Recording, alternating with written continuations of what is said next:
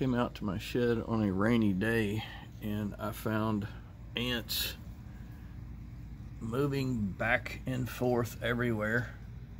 So I decided to put out some Terro ant bait and look at this, within minutes I've got plenty of ant customers and this should trim down the long-term home that they feel like they can make in my shed. So good job, Terro.